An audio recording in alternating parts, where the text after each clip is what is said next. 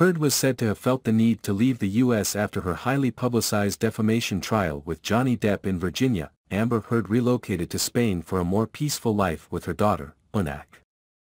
As she turned 38 on April 22, Heard is enjoying a quiet life, her daughter, Oonagh Paige, celebrated her third birthday on April 8.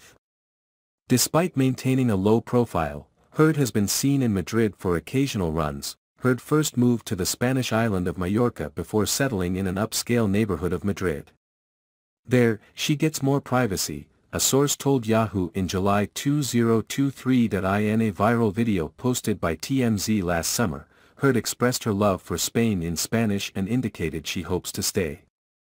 She left the U.S. after her contentious defamation trial with ex-husband Johnny Depp, finding the aftermath too chaotic, according to a source who spoke to People magazine, Heard felt the need to leave the U.S. after her highly publicized defamation trial with Johnny Depp in Virginia, the aftermath of the June 2022 verdict, which largely favored Depp, was described as chaotic. Heard viewed this outcome as a setback for other women. Heard's most recent Instagram post, on January 3, featured behind-the-scenes photos from her work on Aquaman and the Lost Kingdom.